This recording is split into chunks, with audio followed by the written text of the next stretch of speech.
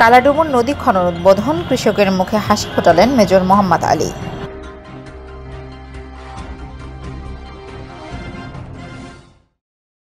সেবা, আন্তরিকতার আরেক নাম অ্যাপোলো প্লাস হসপিটাল ঢাকা ও কুমিল্লা থেকে আসা বিশেষজ্ঞ ডাক্তাররা প্রতিদিন থাকছেন আপনাদের সেবায়। অ্যাপোলো প্লাস হসপিটাল মমতাজ ভবন, দক্ষিণ শতানন্দী বলদাখাল দাউদকান্দি, কুমিল্লা। কুমিল্লার দাউদকান্দি গৌরীপুর থেকে ইলিয়াটগঞ্জ দক্ষিণ ইউনিয়ন পর্যন্ত প্রায় এগারো কিলোমিটার কালাডুমুর নদীর খনন কাজ শুরু হচ্ছে। দাউদকান্দি উপজেলার লক্ষ্মীপুর প্রান্ত হতে কালাডুমুর ও গোমতী নদীর পয়েন্টে এই খাল খননের কাজ উদ্বোধন করেন দাউদকান্দি উপজেলা পরিষদের চেয়ারম্যান মেজর মোহাম্মদ আলী। খনন কাজ শেষ হলে এই অঞ্চলে প্রায় পঞ্চাশ হাজার বিঘা জমিতে আবারও বোরো ধান চাষ করতে পারবেন কৃষকরা।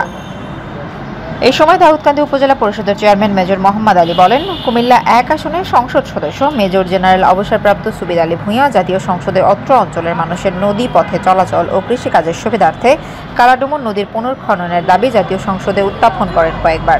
তার পরিপ্রেক্ষিতে আজ এই খনন কাজ শুরু হলো। পরিবেশবিদ মতন সৈকত বলেন, দীর্ঘ প্রতীক্ষার পর মাননীয় এমপি সাহেবের বদৌলতে আজ কালাডুমুরিয়া নদী তার পূর্ণ যৌবন ফিরে পেতে যাচ্ছে। এই নদী খননের ফলে এই অঞ্চলে মানুষের কৃষি ভাগ্যের উন্নয়ন হবে। উল্লেখ্য, গোমতী নদী থেকে উৎপত্তি হয়ে কালাডুমুর নদী গৌরীপুর হয়ে জিংলাতলি, ইলিয়টগঞ্জ, উত্তর এবং ইলিয়টগঞ্জ দক্ষিণ ইউনিয়ন হয়ে মুরাদনগর, চান্দিনা ও কচুয়া উপজেলায় প্রবাহিত হয়েছে। বিভিন্ন সংযোগে। কালাডুমুর নদী থেকে কৃষকদের বড় ধানের এবং অন্যান্য ফসলের সেচের একমাত্র মাধ্যম ও উৎস ছিল। এলাকার কৃষকরা বলেন দু হাজার সাত সালের পরে নদীর নাব্যতা কমতে থাকে এবং তখন থেকেই শুরু ফসলি জমির পানির সেচের সমস্যা এবং এলাকার কৃষকরা কৃষি উৎপাদনে বিমুখ হয়ে পড়ে। তখন থেকেই বিভিন্ন সংগঠন এবং পরিবেশবিদরা এই নদী খননের দাবিতে মানববন্ধন আন্দোলন করে আসছিল।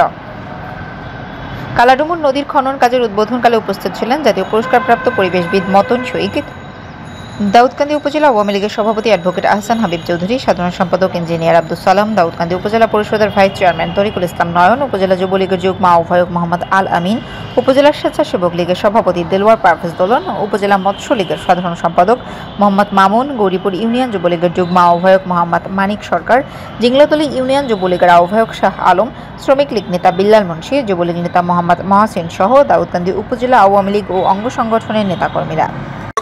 থেকে এই কার্যক্রম আপনাকে একটু কষ্ট করে হলেও পর্যবেক্ষণ করবেন অবজার্ভ করবেন যেন কাজটা ঠিক মতো হয়। কারণ সরকার জননেত্রী শেখ হাসিনার সরকার কিন্তু আপনি জানেন অনেক উন্নয়ন করছে। কিন্তু আমাদের মতো আমাদের মতো কিছু অসৎ লোকের কারণেই অনেক সময় উন্নয়নটা জনগণের সঠিক কাছে পৌঁছাচ্ছে না। এই জন্য পৌঁছানোর জন্য আপনাকে অনুরোধ করব জনগণ যেন সঠিক এটার উপকারটা পায় কাজটা যেন ঠিক মতো হয়। আপনি আমার প্রতিনিধি হিসাবে, মাননীয় এমপি মহোদয়ের প্রতিনিধি হিসাবে, জনগণের প্রতিনিধি হিসাবে এই কার্যক্রম পর্যবেক্ষণ করবেন।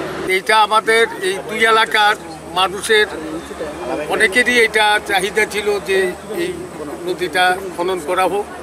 যাক, আমাদের মাননীয় এমপি সাহেব মেজর জেলার সুবেদ আলী ভূঁইয়া, জনবান্ধব নেতা, উনি মানুষের যে প্রাণের যে আকুতি, এটাকে, এটার উপর ভোট করি বিশেষ করে জনগণের উপর আস্থা রেখি উনি এই কাজটার জন্য এখানে যারা দায়িত্বপ্রাপ্ত আছেন তাদেরকে দিয়েছেন।